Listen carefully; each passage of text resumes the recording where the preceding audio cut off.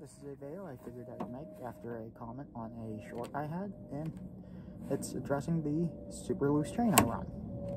I don't actually run the saw like this, I just store it like this.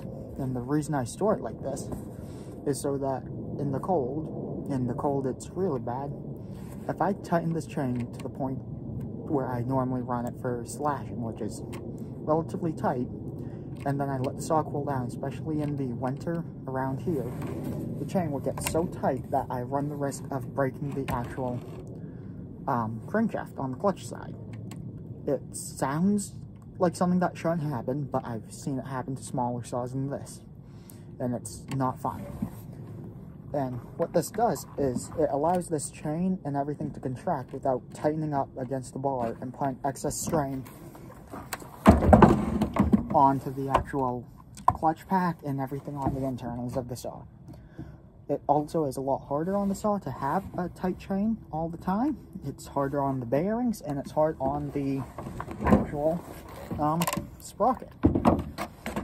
The sprocket, especially on some of the cheaper saws where it's built onto the clutch, it will wear the sprocket out prematurely.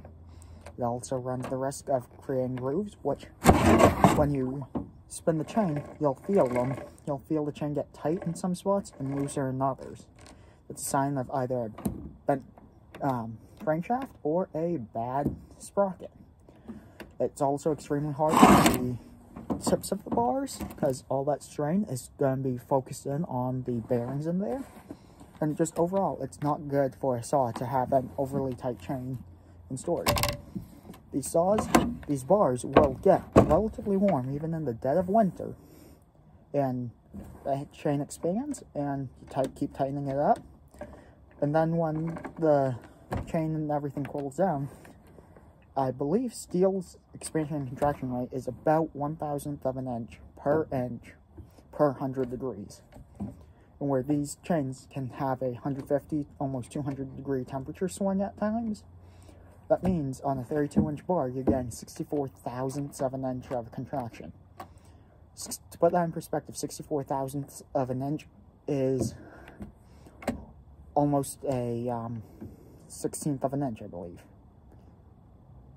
Yeah, it's about 16th of an inch, which that will put a lot of, a lot of pressure on the bearings, on the bearings and the bar tip, and on the clutch, on the sprocket, on the crankshaft. And over time, I have seen it fatigue crankshafts to the point where they will break. The other thing I want to talk about is, questions about it, how tight do I run a train normally when I'm falling?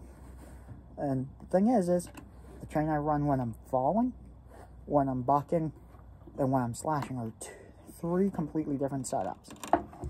When I'm just regularly falling, I'll take the saw, I'll bring it up like that, so this hangs down, and I'll bring it till the chain contacts the bottom of the bar, and when you pull it, it snaps back up tight to the bar. For bucking, I'll give it about an eighth of a turn more on the adjuster to get just a little bit tighter. And when I'm slashing, I'll bring it up to when it's tight, and on a 32 inch bar, I'll give it about half a turn more. So that's really tight up against the bar, so I can help prevent throwing the chain. I don't go much tighter than that, uh, no matter what saw, no matter what length bar, just because, as I said, it's very hard on the bearings and it's hard on the clutch and the sprocket. And on some saws, cheaper saws where that's all one unit, it will cause a lot of premature wear on those items. At some point, I'll have to find some of the old clutches I have where people ran that.